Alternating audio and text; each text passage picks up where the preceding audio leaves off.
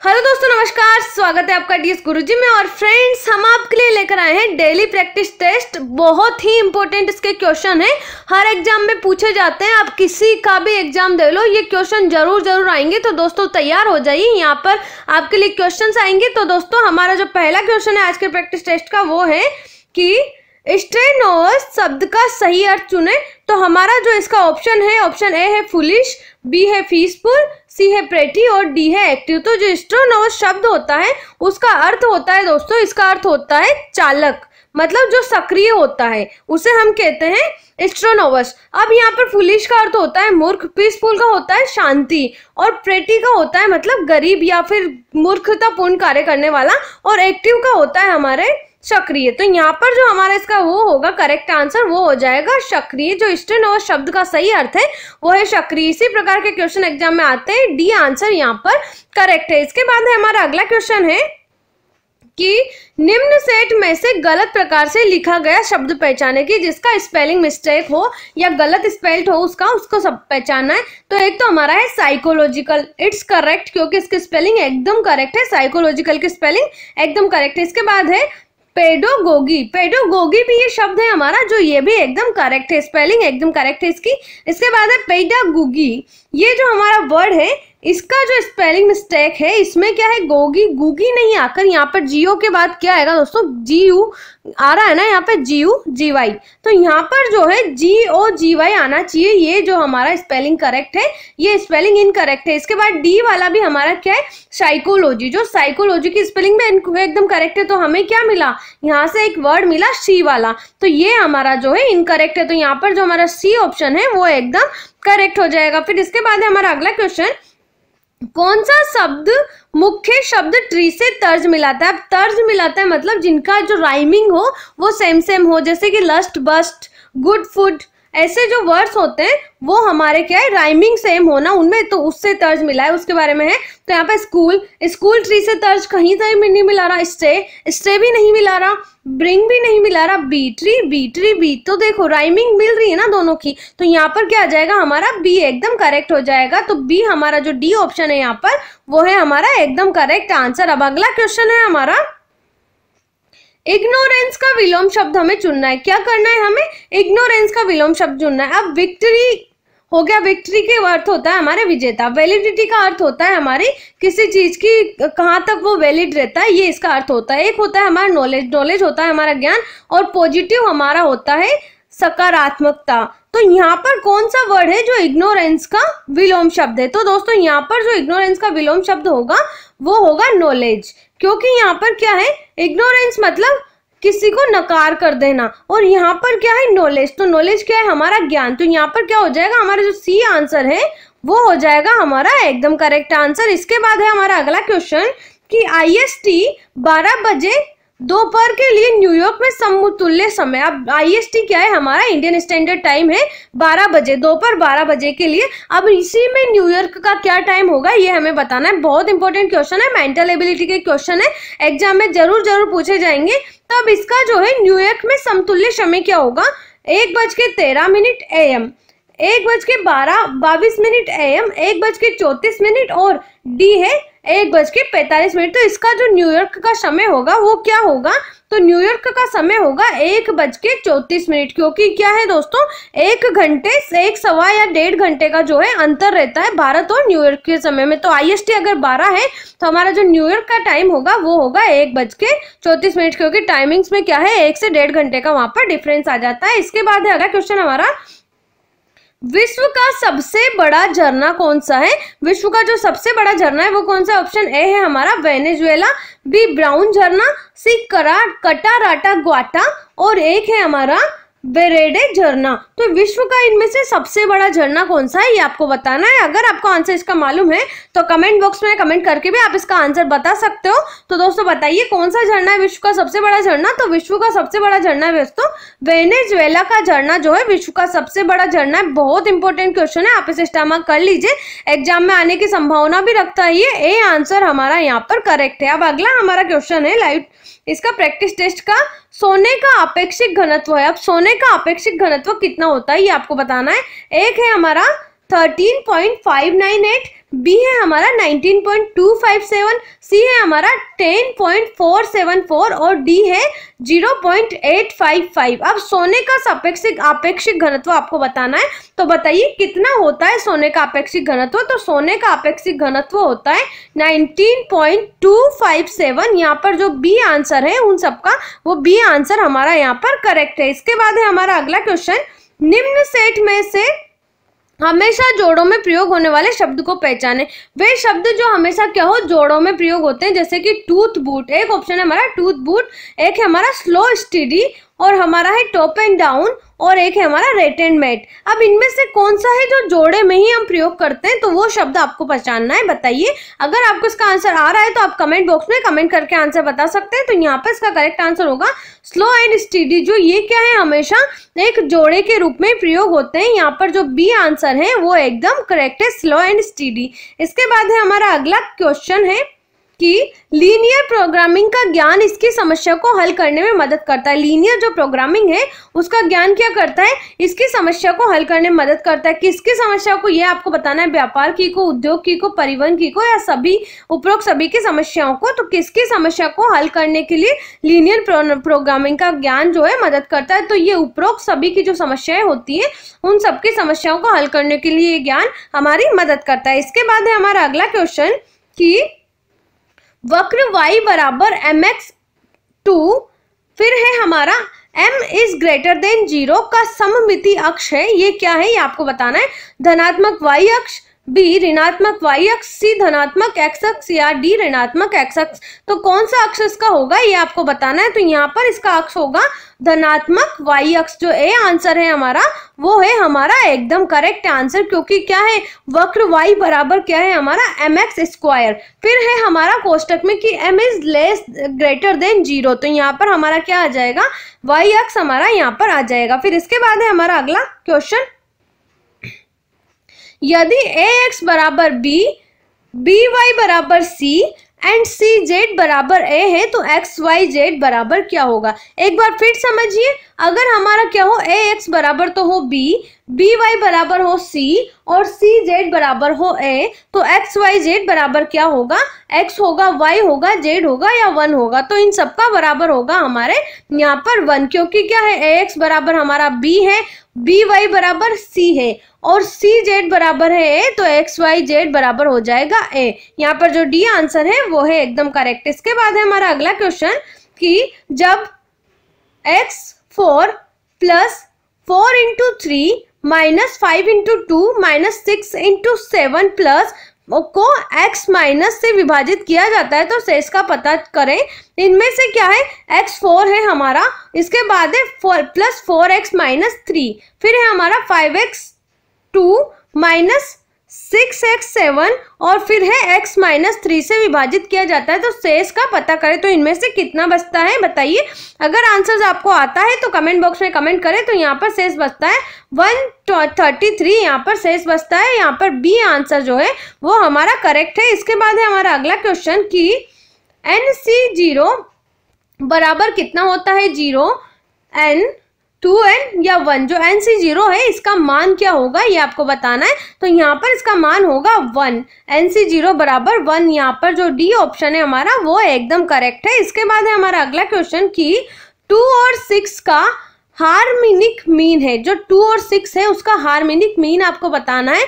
Option A है हमारा three, B है हमारा फोर सी है, हमारा फाइव और डी है, हमारा टू बाई थ्री जो टू और सिक्स है, इसका हार्मोनिक मीन क्या है? तो टू और सिक्स का हार्मोनिक मीन होगा हमारे थ्री यहाँ पर जो हमारा ए ऑप्शन है, वो है हमारा एकदम करेक्ट इसके बाद है हमारा अगला क्वेश्चन की माइनस टू और थ्री इस क्वांट्राइंट में एक बिंदु है, इस क्वांट्राइंट में एक बिंदु कौन सा है, वो आपको बताना है।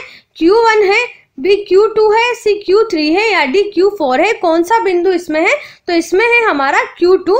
यहाँ पर जो बी ऑप्शन है, वो है हमारा एकदम करेक्ट आंसर। इसके बाद है हमारा अगला क्वेश्चन कि 1.25 बराबर कितना होता है? 16 यहाँ पर है हमारे कोष्टक में।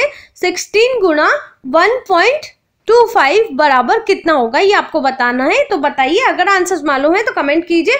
ऑप्शन ए है एट बी है थर्टी टू, सी है सिक्सटी फोर और डी है हमारा वन टू एट। तो यहाँ पर इसका करेक्ट आंसर होगा थर्टी टू, यहाँ पर इसका करेक्ट आंसर होगा। यहाँ पर जो बी आंसर है, वो है हमारा एकदम करेक्ट इसके बाद है हमारा अगला क्वेश्चन की यदि एपी का सात गुणा सातवा पद बराबर ग्यारह गुणा, ग्यारहवा पद तो अठारवा पद क्या होगा? अब एक बार समझिए कि एपी का जो सात गुणा है, वो सातवां पद है और ग्यारह गुणा जो है, वो ग्यारहवा पद है। तो अठारवा पद क्या होगा?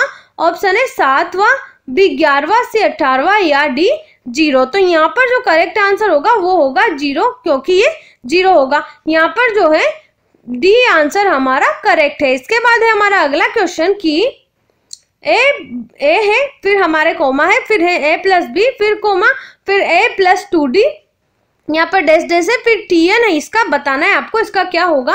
A plus N minus one D A plus N plus one D two A plus N D और two A minus N D तो यहाँ पर इसका करेक्ट आंसर होगा हमारे A plus N minus one D यहाँ पर होगा इसका करेक्ट आंसर यहाँ पर जो ए ऑप्शन है हमारा, वो है एकदम करेक्ट इसके बाद है हमारा अगला क्वेश्चन कि y बराबर x2 के ग्राफ को कहते हैं। y बराबर जो x2 का हमारा ग्राफ होता है, इसे हम क्या कहते हैं? तो इसे हम कहते हैं वृत्त परवलय चाप या सीधी रेखा। तो इसे हम परवलय कहते हैं। दोस्तों, ध्यान रख लेना है आपको। इसके बाद है हमारा अगला क्वेश्चन किस जनरेशनों के कंप्यूटरों में वैक्यूम नलियों का प्रयोग होता है? ऑप्शन है, पहले जनरेशन में बी दूसरे जनरेशन के में, सी तीसरे जनरेशन के में, या डी चौथे जनरेशन में के तो जो पहला जनरेशन का कंप्यूटर है, उसमें वैक्यूम नलियों का प्रयोग होता है। ए ऑप्शन हमारा यहाँ पर एकदम करेक्ट है। इसके बाद है हमारा अगला क्वेश्चन कि कार्बन टेट्रा क्लोराइड का सूत्र है। जो कार्बन टेट्रा क्लोराइड होता है, उसका सूत्र आपको बताना है तो यहाँ पर है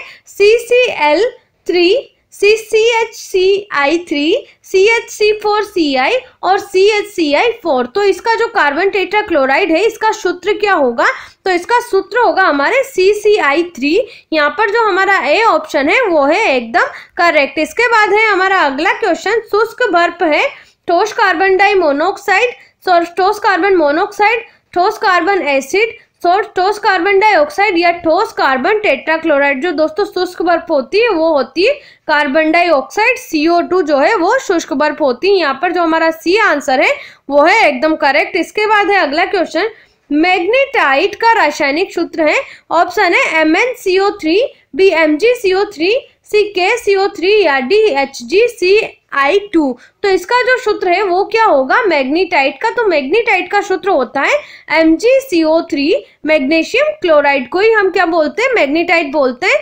मैग्नेशियम कार्बोनेट को जो है, हम मैग्नीटाइट बोलते हैं। तो यहाँ पर जो बी आंसर है, वो है हमारा एकदम करेक्ट मैग्नेशियम कार्बोनेट। इसके बाद है अगला क्वेश्चन दो बिंदुओं के बीच विभवांतर मापने के यंत्र को क्या कहते हैं? ऑप्शन है ammeter B speedometer C volt meter या डी गार्न मीटर, जो दो बिंदुओं के बीच हम विभवांतर मापते हैं, उस यंत्र को क्या कहते हैं? तो हम इसे वोल्ट मीटर कहते हैं। सी आंसर हमारा यहाँ पर करेक्ट है। इसके बाद है, अगला क्वेश्चन हमारा कोई माध्यम स्वयं में से एक ध्वनि तरंग को अपने इस गुण के कारण संचारित करता है। कोई माध्यम क्या होता है? स्वयं में से एक ध्वनि तरंग को अपने इस गुण के कारण संचारित करता है। जड़त्व के कारण, घनत्व के कारण, प्रत्यास्थता और जड़त्व के कारण या प्रत्यास्थता के कारण। तो दोस्तों, ये जो है प्रत्यास्थता एवं जड़त्व के कारण अपनी ध्वनि तरंगों को संचरित करता है। यहाँ पर जो सी आंसर है, वो है हमारा एकदम करेक्ट इसके बाद है हमारा अगला क्वेश्चन कंप्यूटर माउस है। किस प्रकार का ये डिवाइस है, ये आपको बताना है? मेमोरी कार्ड है इनपुट डिवाइस है आउटपुट डिवाइस है, या उपरोक्त में से कोई नहीं। जो माउस होता है दोस्तों, वो होता है इनपुट डिवाइस यहाँ पर जो बी आंसर है, वो है हमारा एकदम करेक्ट अगला हमारा क्वेश्चन है कि चुंबकीय तरंगे किस प्रकार की तरंगे होती है? अनुप्रस्थ तरंगे, अनुप्रस्थ और अनुदेरीय तरंगे दोनों अनुदेरीय तरंगे स्थिर तरंगे। जो माउस ये विद्युत चुंबकीय तरंगे होती है, वो किस प्रकार की तरंगे होती है? तो दोस्तों, ये तरंगे होती है अनुप्रस्थ तरंगे। चुंबकीय विद्युत चुंबकीय तरंगे अनुप्रस्थ तरंगे प्रकार की तरंगे होती है। इसके बाद है हमारा अगला क्वेश्चन रेडियो सक्रियता में प्रेषित विद्युत चुंबकीय विकरण है। बीटा बीटा विकिरण, बी, अल्फ़ा विकिरण, सी गामा विकिरण या डी एक्स किरण, किस प्रकार की किरण ये होती है, ये आपको बताना है। जो रेडियो सक्रियता में प्रेषित विद्युत चुंबकीय विकिरण होती है, वो किस प्रकार की होती है? तो दोस्तों, ये होती है वाई किरण, ये होती है। यहाँ पर जो है हमारा सी आंसर एकदम करेक्ट है। इसके बाद है हमारा अगला क्वेश्चन। रोग के उपचार में प्रयुक्त लेसर है। जो रोग के उपचार में प्रयुक्त लेसर होता है, वो कौन सा होता है? हड्डी के टूटने पर बी मस्तिष्क पर सी फेफड़ों पर या डी हृदय में। तो रोग के उपचार में प्रयुक्त लेशन फेफड़ा होता है, यहाँ पर जो हमारा सी आंसर है, वो है एकदम करेक्ट आंसर इसके बाद है हमारा अगला क्वेश्चन एनर्जी गैप इसमें सर्वोच्च होता है। ऑप्शन है उष्मारोधी में बी अर्धचालक में सी डायोड में, या डी धातु में। तो धातु में जो है दोस्तों, यहाँ पर उष्मारोधी में जो है एनर्जी गेप सर्वोच्च होता है। इसके बाद है हमारा अगला क्वेश्चन जो दवाइयाँ रक्त प्रवाह पर असर करती है, वे क्या कहलाती है? तो दोस्तों एंटीबॉडी कहलाती है विटामिन कहलाती है, हृदय नीलिकी कहलाती है या हार्मोन कहलाती है। तो जो दवाइयाँ हमारे क्या हो, रक्त प्रवाह पर असर करती है वे हृदय नीलिकीय दवाइयाँ कहलाती। है सी हमारा जो ऑप्शन है, वो यहाँ पर एकदम करेक्ट है। इसके बाद है हमारा अगला क्वेश्चन निम्न में से सबसे मीठी शक्कर क्या है? ऑप्शन है glucose B sucrose C maltose या डी फैक्टोज जो इसमें से सबसे मीठी शक्कर है, वो है दोस्तों, फ्रक्टोज, जो है सबसे मीठी शक्कर होती है। ये ध्यान रखना है आपको। डी आंसर हमारा यहाँ पर एकदम करेक्ट है। इसके बाद है अगला क्वेश्चन। किसी स्थिर तरंग में जिस बिंदु पर अधिकतम विषाथापन होता है, उसे क्या कहते हैं? ऑप्शन है antinode B crest C trough या डी नोट तो इसे क्या कहते हैं? तो इसे एंटी नोट कहा जाता है। जब स्थिर तरंग में क्या हो? जिस बिंदु पर अधिकतम विस्थापन हो तो उसे एंटी नोट कहते हैं। ए हमारा यहाँ पर एकदम करेक्ट आंसर है। इसके बाद अगला, इसका रक्त रंगहीन होता है केचुए का घोंगा का। छिपकली का या तिल चट्टा का। तो दोस्तों, जो तिल चट्टा होता है, उसका रंग रक्त रंगहीन होता है। इसके बाद है, मानव इस ध्वनि सीमा के भीतर सुन सकता है। ऑप्शन है 100 से 150 डेसिबल 50 से 60 डेसिबल 10 से 20 डेसिबल और हज़ार से 2000 डेसिबल। मानव कितनी सीमा तक की ध्वनि सुन सकता है तो वो पचास से साठ डेसिबल तक की सीमा की ध्वनि सुन सकता है। बी आंसर हमारा यहाँ पर करेक्ट है। इसके बाद है, पौधे हरे होते हैं क्योंकि हरे प्रकाश का वर्तन करते हैं। बी, हरे प्रकाश को परावर्तित करते हैं। सी यूवी प्रकाश का अवशोषण नहीं करते हैं। या डी हरे प्रकाश का अवशोषण करते हैं। तो दोस्तों, ये जो है, हरे प्रकाश को परावर्तित करते हैं, जिसके कारण क्या होते हैं? पौधे हरे होते हैं। इसके बाद है अगला क्वेश्चन रक्त के जमने के लिए आवश्यक विटामिन है। ऑप्शन है vitamin B six vitamin K vitamin A और विटामिन बी जो रक्त के जमने के लिए आवश्यक विटामिन है, वो कौन सी? तो दोस्तों, वो विटामिन है विटामिन के जो रक्त के जमने के लिए आवश्यक है। इसके बाद है, निम्न में से क्या पर्यावरण के लिए मित्रवत ईंधन है। ऑप्शन है petrol B kerosene C CNG या डी डीजल तो इनमें से जो पर्यावरण के लिए मित्रवत ईंधन है, वो है सीएनजी यहाँ पर जो है हमारा सी आंसर वो एकदम करेक्ट है। इसके बाद है अगला क्वेश्चन पशु स्टार्च को कहते हैं ग्लिसरोल ग्लाइकोजन सुक्रोज या थाइमिन जो पशु स्टार्च होता है, उसे हम ग्लाइकोजन कहते हैं। बी आंसर हमारा यहाँ पर करेक्ट है। इसके बाद है हमारा अगला क्वेश्चन कार्पेल्स इनमें मौजूद होते हैं। ऑप्शन है पिस्टिल में बी एंड्रोशियल में सी सीड में, या डी ओवेल्स में, किसमें जो है कार्पेल्स मौजूद होते हैं? तो दोस्तों, ये मौजूद होते हैं पिस्टिल्स में, जो कार्पेल्स मौजूद होते हैं। इसके बाद है, पौधों में गैसों का विनिमय इसके ज़रिए होता है, स्पंजी उत्तक के ज़रिए, स्टोमेटा के ज़रिए, मध्य सिरा के ज़रिए, या पहली सेड उत्तक के ज़रिए, जो पौधों में गैसों का विनिमय होता है, वो होता है स्टोमेटा के ज़रिए इसमें विनिमय होता है। इसके बाद है अगला क्वेश्चन निम्न एक मिश्रित ग्रंथि है, एड्रिनल बी अग्नाशय सी अंडाशय या डी पीयूष जो अग्नाशय होती है, वो एक मिश्रित ग्रंथि होती है। ये आपको ध्यान रखना है, बी आंसर हमारा यहाँ पर करेक्ट है। इसके बाद है अगला क्वेश्चन केचुए का ककून इससे बनता है। जो केचुआ होता है, उसका ककून किससे बनता है? सेमिनल वेसिकल से बी फीमेल अर्थवॉर्म से सी क्लिटेला से या डी सुपर मेथेसिक्स से किससे जो है केचुए का ककुन बनता है? तो दोस्तों, जो केचुए का ककुन बनता है, वो बनता है स्लीटेला से। यहाँ पर जो है सी आंसर हमारा एकदम करेक्ट है। इसके बाद है अगला क्वेश्चन। निम्न में से सबसे महत्वपूर्ण जीवन प्रक्रिया क्या है? मल त्याग प्रकाश संश्लेषण, पोषण याडी परिवहन। तो जो सबसे महत्वपूर्ण जीवन प्रक्रिया है, वो है प्रकाश संश्लेषण। ए आंसर, बी आंसर जो है हमारा यहाँ पर वो एकदम करेक्ट है। इसके बाद है अगला क्वेश्चन डार्क रिएक्शन का अंत उत्पादन क्या है? ऑप्शन है CO two B six six H twelve O six C A T P I D P G A जो डार्क रिएक्शन होता है, उसका अंत उत्पादन क्या है? तो वो होता है एटीपी डार्क रिएक्शन का अंत उत्पादन होता है एटीपी इसके बाद है अगला क्वेश्चन इसकी उपस्थिति की परीक्षा करने के लिए आयोडीन का प्रयोग किया जा सकता है। ऑप्शन है प्रकाश की। बी स्टार्च की सी कार्बन डाइऑक्साइड की या डी ग्लूकोज की तो हम जो है सीओ टू की परीक्षा, उपस्थिति की परीक्षा करने के लिए आयोडीन का उपयोग कर सकते हैं। इसके बाद है, किस देश को लैंड ऑफ़ केक्स के नाम से जाना जाता है? Option A Scotland B England C Canada या डी उपरोक्त में से कोई नहीं, जो कौन सा देश है, उसे लैंड ऑफ़ केक्स के नाम से जाना जाता है। तो दोस्तों, जो स्कॉटलैंड है, इसे लैंड ऑफ़ केक्स के नाम से जाना जाता है। ए आंसर हमारा यहाँ पर एकदम करेक्ट है। इसके बाद है अगला क्वेश्चन सिलाई मशीन का आविष्कार इन्होंने किया था, किन्होंने किया था? इशाक एम सिंगर ने सी इसाक न्यूटन ने बी रतन टाटा ने सी मैक्स मूलर ने। तो दोस्तों इसाक एम सूलर ने, जो है सिंगर ने सिलाई मशीन का आविष्कार किया था। ए आंसर हमारा यहाँ पर करेक्ट है। इसके बाद है अगला क्वेश्चन, प्रसिद्ध पुस्तक पुस्तक क्रिसेंट मून इन्होंने लिखी है एम के गांधी ने, जवाहरलाल नेहरू ने, रविंद्रनाथ टैगोर ने या इंदिरा गांधी ने। तो दोस्तों, ये पुस्तक जो है, वो रविंद्रनाथ टैगोर ने लिखी है। इसके बाद अगला क्वेश्चन संयुक्त राष्ट्र के वर्तमान सेक्रेटरी जनरल कौन है? ऑप्शन है Barack Obama, B Manmohan Singh, C Ban Ki Moon, या डी उपरोक्त में से कोई ना, जो संयुक्त राष्ट्र के वर्तमान सेक्रेटरी जनरल है, वो है दोस्तों बैन की मून। यहाँ पर जो हमारा सी आंसर है, वो है एकदम करेक्ट तो दोस्तों, हमारे आज के प्रैक्टिस टेस्ट में इतना ही। बाकी जानकारी के लिए आप डीएस गुरुजी के साथ जुड़े रहे।